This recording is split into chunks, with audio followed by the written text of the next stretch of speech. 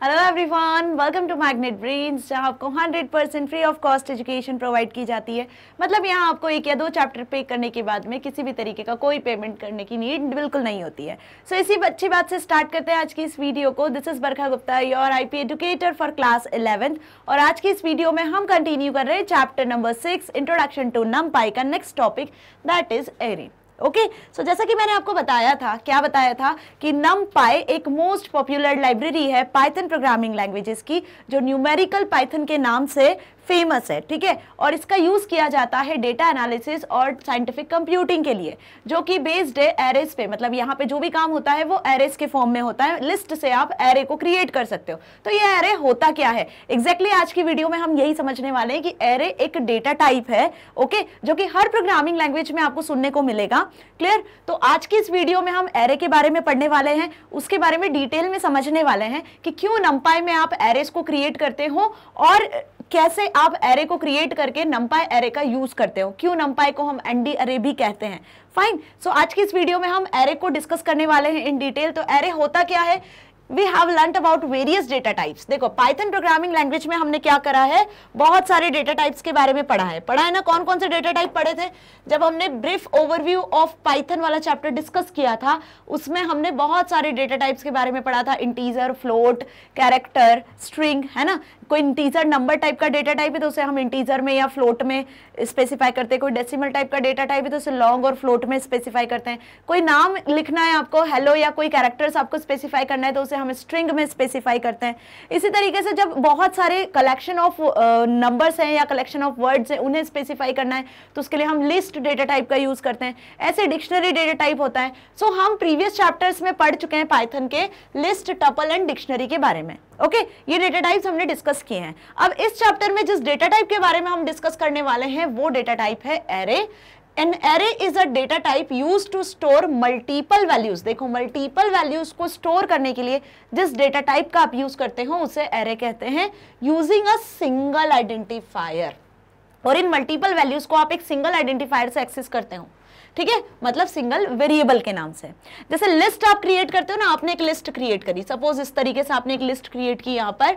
आपने लिस्ट में लिखा 90 ठीक है? आपने लिखा कोई नाम सपोज़ राम, और यहाँ आपने 90 लिखा अगेन ओके सो आपने इस तरीके से एक लिस्ट क्रिएट करी। लिस्ट में आपने मल्टीपल वैल्यूज़ इंसर्ट किया। और इन मल्टीपल वैल्यूज़ को आप एक सिंगल आइडेंटिफायर से एक्सेस कर रहे हो। बस बिल्कुल उसी तरीके से हम एरे क्रिएट करते हैं, जिसमें एक वेरिएबल होता है जो मल्टीपल वैल्यूज़ को स्टोर करता है, जिसमें मल्टीपल वैल्यूज़ होती हैं, ठीक है? बट यहाँ पे जो मल्टीपल वैल्यूज़ होती है ना, वो एक सिंगल डेटा टाइप की होती है। जैसे लिस्ट में तो आपने यहाँ पे देखा ना, कि सपोज़ मैंने डेसिमल वैल्यूज़ भी एंटर कर दी स्ट्रिंग टाइप वैल्यू भी एंटर कर दी न्यूमेरिक वैल्यू भी एंटर कर दी बट एरे में क्या होता है? एरे में एक सेम टाइप की सेम टाइप की वैल्यूज़ होती है। मतलब एरे जो आप क्रिएट कर रहे हो, उसमें या तो पूरी इंटीजर वैल्यूज़ होंगी, या तो पूरे कैरेक्टर वैल्यूज़ होंगी। डिफरेंट टाइप की वैल्यूज़ नहीं होती है। यही बेसिक डिफरेंस होता है लिस्ट में और एरे में। ठीक है? तो दोनों चीज़ आपको ध्यान रखना है कि एरे भी एक डेटा टाइप होता है, जैसे लिस्ट होता है। बिल्कुल वैसे ही मल्टीपल वैल्यूज़ को स्टोर करता है। एक सिंगल वेरिएबल से हम इसे रेफर करते हैं। सिंगल वेरिएबल में हम इनकी वैल्यूज़ को स्टोर करते हैं।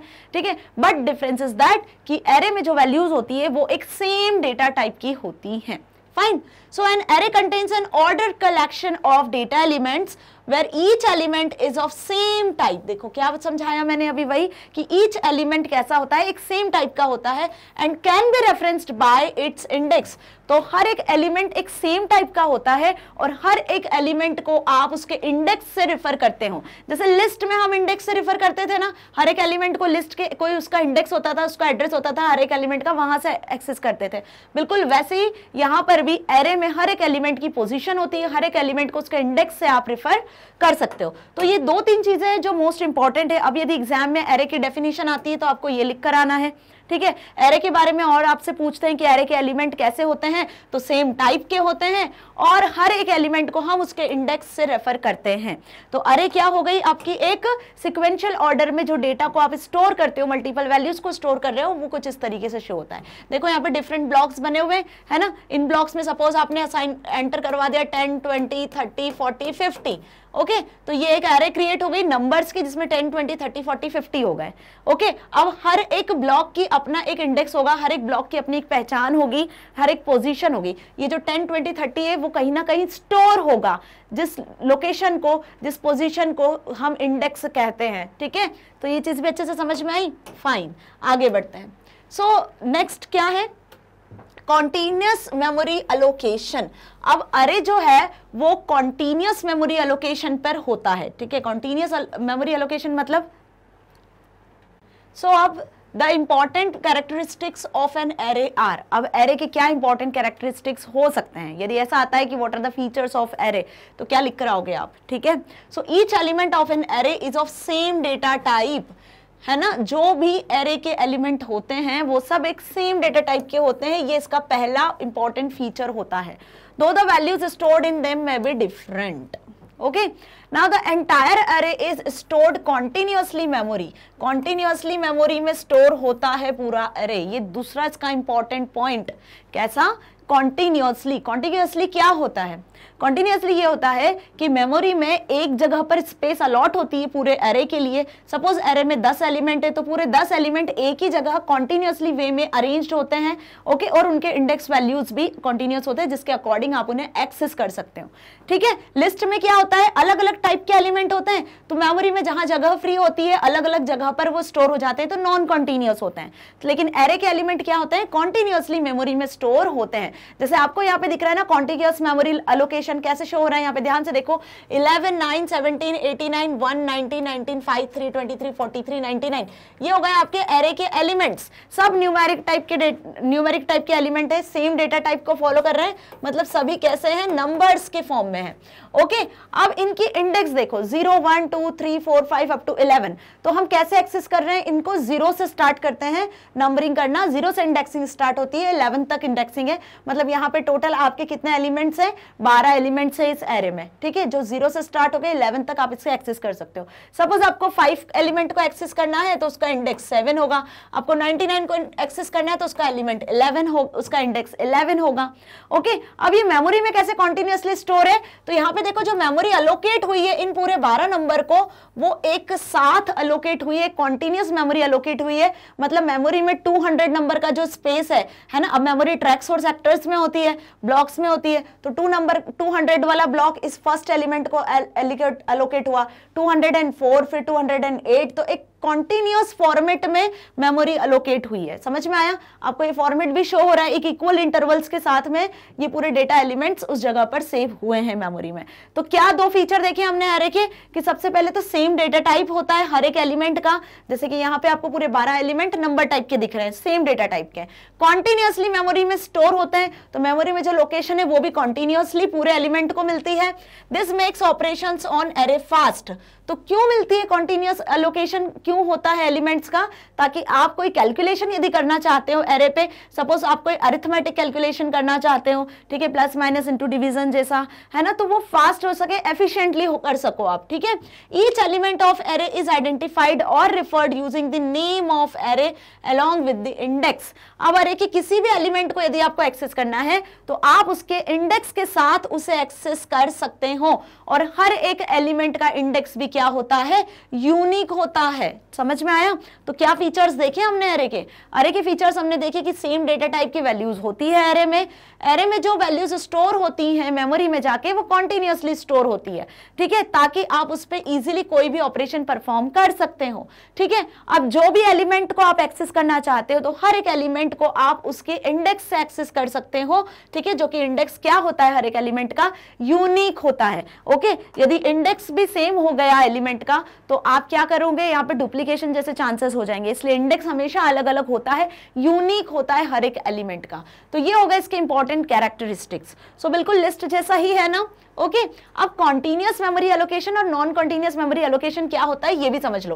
क्योंकि ये भी आपसे पूछा जा सकता है एक दो नंबर में कि what is continuous memory allocation why array stored in continuous memory allocation ऐसा भी क्वेश्चन आपसे पूछ सकते हैं। So the memory space must be divided into the find sized position and each position is called allocated to a single data only that is called continuous memory allocation कि जो memory है memory में जो space होता है, वो divide होती है फाइंड साइज़ पोजिशन में, ठीक है? जैसे कि मैंने बताया कि मेमोरी किसमें डिवाइड होती है? मेमोरी डिवाइड होती है ब्लॉक सेक्टर्स में ना? तो इस तरीके से छोटे छोटे ब्लॉक्स होते हैं जो आपके डेटा वैल्यूज़ को स्टोर करते हैं।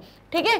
प्रोग्रामिंग में हम ये सब मान के चलते हैं बट एक्चुअली वर्चुअली सारी चीज़ होती है। And each position is allocated to single data only और हर एक ब्लॉक अरे के एक एक सिंगल एलिमेंट को अलोकेट किया जाता है। और वो कॉन्टिन्यूसली ब्लॉक्स अलोकेट होते हैं that is called continuous memory allocation non continuous में क्या होता है? नॉन कंटिन्यूस में divide the data into several blocks and place in a different part of a memory according to the availability of memory space जैसे memory space में जो block free होगा तो वहाँ पे उस डेटा को प्लेस कर दिया जाएगा। ठीक है? तो ये क्या हो गया? नॉन कंटिन्यूस मेमोरी एलोकेशन हो गया।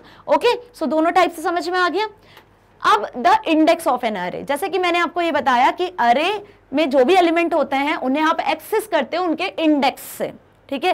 जैसे आपको एक्सेस करना है आपके घर का पता आप, आपके घर को हम एक्सेस कर पाएँगे आपके घर के एड्रेस से। आपको, आपके बारे में जानकारी पता करनी है तो हम आपके नाम से, आपके आइडेंटिफिकेशन नंबर से, ठीक है, जो भी आपका आईडी नंबर होगा, उससे एक्सेस कर पाएँगे राइट तो बिल्कुल उसी तरीके से अरे में जितने एलिमेंट होते हैं, उन्हें एक्सेस करने के लिए हम उनकी पोजीशन उनके इंडेक्स से उन्हें रिफर करते हैं। Fine so the index of an element is an integral value associated with the element तो इंडेक्स क्या हो गई? एक इंटीग्रल वैल्यू होती है इंटीजर वैल्यू होती है, जो हर एक एलिमेंट के साथ एसोसिएटेड होती है based on elements position in the array कि अरे में एलिमेंट की क्या पोजीशन है, उस पर बेस्ड होती है। अब लेते हैं इसका एक एग्ज़ाम्पल ताकि आपको ये और अच्छे से समझ में आए। हमने एक एरे को कंसीडर किया है जो कि फाइव नंबर्स की एरे है। कौन सी फाइव नंबर्स की एरे है? Ten nine ninety one seventy one and ninety मतलब एरे को भी आपको किसमें स्पेसिफाई करना है? पहले तो स्क्वायर ब्रैकेट्स में ही स्पेसिफाई करना है। तो यहाँ पर इन्होंने पाँच नंबर की एक एरे अज्यूम किया है। कुछ ये, जो आपकी बुक में भी मेंशन है। ठीक है? तो अब क्या होगा? मेमोरी में ध्यान से देखना। मेमोरी में क्या होगा? एक कॉन्टिन्यूस मेमोरी अलोकेट हो जाएगी इस एरे को। क्या हो जाएगी? एक कॉन्टिन्यूस मेमोरी अलोकेट हो जाएगी, जिसमें ये वैल्यूज़ जाके ब्लॉक्स में सेव स्टोर हो जानी है। अब इन्हें आप एक्सेस कैसे करोगे? देखो मेमोरी में तो इनका एड्रेस होगा ही होगा। साथ में इन्हें एक्सेस करने के लिए हम किसका यूज़ करेंगे? इंडेक्स का यूज़ करेंगे। और इंडेक्सिंग शुरू होती है हमेशा ज़ीरो से। किससे शुरू होती है इंडेक्सिंग ज़ीरो से। तो ये हो गया इंडेक्स ये हो गए एलिमेंट्स किसके? एरे के। सेम डेटा टाइप के एलिमेंट्स है सभी नंबर है देखो ten nine ninety nine seventy one nineteen.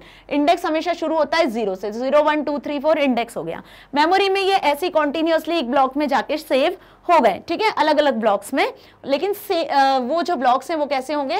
Similar होंगे ओके अब इसके बाद देखो मेमोरी में भी ये सिमिलर ब्लॉक सपोज़ हमने बोला कि ये 200 वाली प्लेस पर सेव है ये 202 पर ये 204 पर ये 206 पर देन ये 208 पर। तो ये जो डिफरेंस आपको यहाँ दिख रहा है कॉन्टिन्यूस वे में है है ना? इंटरवल्स भी इक्वल है. फाइन तो ये मेमोरी का स्पेस हुआ, जहाँ पर मेमोरी में ये स्टोर हुए. फाइन तो कैसे एक्सेस करेंगे हम? यदि हमें एक्सेस करना है, किसको? टेन को एक्सेस करना है. तो हम क्या बोलेंगे कि अरे का ज़ीरो एलिमेंट है टेन अरे का फ़र्स्ट एलिमेंट है नाइन अरे का सेकंड एलिमेंट है नाइनटी नाइन अरे का थर्ड एलिमेंट है सेवेंटी वन अरे का फोर्थ एलिमेंट है नाइनटी ठीक है? सो सपोज़ हम इसको स्टोर करवा लेते हैं ए नाम के वेरिएबल में तो एक सिंगल वेरिएबल में हम इसे स्टोर करवा लेते हैं ए में। तो जब आपको इसको एक्सेस करना है तो आप इसे एक्सेस करोगे ए ऑफ़ ज़ीरो पोजीशन से। क्योंकि इसकी पोजीशन क्या है? ज़ीरो इसकी वन इसकी टू इसकी थ्री इसकी फोर यही इंडेक्सेस हैं। इस एलिमेंट को एक्सेस करना है तो इसे आप ए ऑफ़ नाइन से ए ऑफ़ वन से एक्सेस करोगे। किससे एक्सेस करोगे? ए ऑफ़ वन से एक्सेस करोगे। इस एलिमेंट को आप ए ऑफ़ टू से एक्सेस करोगे, इसे आप ए ऑफ़ थ्री से एक्सेस करोगे, और इसे आप ए ऑफ़ फोर से एक्सेस करोगे। तो ये चीज़ें समझ में आ गई ना अच्छे से, कि कैसे आपको हर एक इंडिविजुअल एलिमेंट को एरे के हर एक इंडिविजुअल एलिमेंट को एक्सेस करना है उसके इंडेक्स से। इंडेक्स हमेशा स्टार्ट होगा ज़ीरो से। ओके सो यहाँ तक क्लियर हुआ कि अरे क्या होती है? अरे में सेम डेटा वैल्यूज़ होती हैं सेम डेटा टाइप की वैल्यूज़ होती हैं। कॉन्टिन्यूसली मेमोरी में ब्लॉक्स अलोकेट होते हैं अरे के एलिमेंट के लिए। कॉन्टिन्यूसली मेमोरी में स्टोर होते हैं, ठीक है? ताकि इन पे आप इजीली ऑपरेशन परफॉर्म कर सकते हो। हर एक एलिमेंट को आप उसके इंडेक्स से एक्सेस कर सकते हो। फाइन यही होता है अरे डेटा टाइप क्लियर अब यदि हमें, हमने जो अभी एग्ज़ाम्पल डिस्कस किया, उसकी बात करें तो जो फ़र्स्ट वैल्यू है in the array is ten ten में जो पहली वैल्यू थी, वो क्या थी? टेन थी. लेकिन उसका इंडेक्स हमने क्या देखा अभी कि ज़ीरो क्योंकि इंडेक्स हमने कहाँ से शुरू किया? ज़ीरो से. सेकेंड वैल्यू जो थी, वो थी नाइन लेकिन उसका इंडेक्स हमने क्या देखा? वन इसी तरीके से क्या बोलेंगे हम कि अरे के फ़र्स्ट एलिमेंट को आप ज़ीरो पोजीशन पे रखते हो सेकंड एलिमेंट को आप वन पोजीशन पे रखते हो, और इसी तरीके से सो ऑन होता है, ठीक है? नाउ द लास्ट वैल्यू जो लास्ट वैल्यू थी, वो थी फिफ्थ वैल्यू लेकिन हमने उसका इंडेक्स क्या देखा कि उसका इंडेक्स था फोर ओके? मतलब ऐसी कुछ वैल्यूज़ थी ना ten nine ninety seventy one और नाइनटी नाइन यही अरे की वैल्यूज़ थी। अब यहाँ पे ये किस पोजीशन पे था? ये आपका था ज़ीरो पोजीशन पे। फ़र्स्ट एलिमेंट ज़ीरो पोजीशन पे था सेकंड एलिमेंट वन पोजीशन पे था थर्ड एलिमेंट टू पोजीशन पे था फोर्थ एलिमेंट थ्री पोजीशन पे था फिफ्थ एलिमेंट जो है वो फोर्थ पोजीशन पे था। तो अरे में जो इंडेक्सिंग होती है वो ज़ीरो से शुरू होती है, ठीक है? तो इसीलिए इसे हम क्या बोलते हैं? ज़ीरो बेस्ड इंडेक्सिंग क्या कहते हैं इसे हम? ज़ीरो बेस्ड इंडेक्सिंग कहते हैं, ठीक है? कि अरे, में किस तरीके की इंडेक्सिंग होती है? ज़ीरो बेस्ड इंडेक्सिंग होती है ज़ीरो से शुरू होती है। Okay now this is very similar to the indexing of list in Python और यही इंडेक्सिंग हमने लिस्ट में भी देखी थी। पाइथन में जब लिस्ट डिक्शनरी वाला चैप्टर डिस्कस किया था तो वहाँ पे लिस्ट में भी इंडेक्सिंग होती है ना? तो वो भी ज़ीरो से ही स्टार्ट होती है। बट लिस्ट दोनों तरफ़ से बैकवर्ड और फॉरवर्ड दोनों इंडेक्सिंग को फॉलो करता है सपोर्ट करता है। बट अरे, जो है, वो एक सिंगल इंडेक्सिंग को फॉलो करता है, जिसे ज़ीरो बेस्ड इंडेक्सिंग कहते हैं। Okay the idea of arrays is so important that almost all programming languages support it in one from or another अब ये एरे जो मैं समझा रही हूँ ना कॉन्सेप्ट आपको, ये ऐसा नहीं है कि हर एक प्रोग्रामिंग लैंग्वेज में अलग अलग तरीके से आप पढ़ोगे।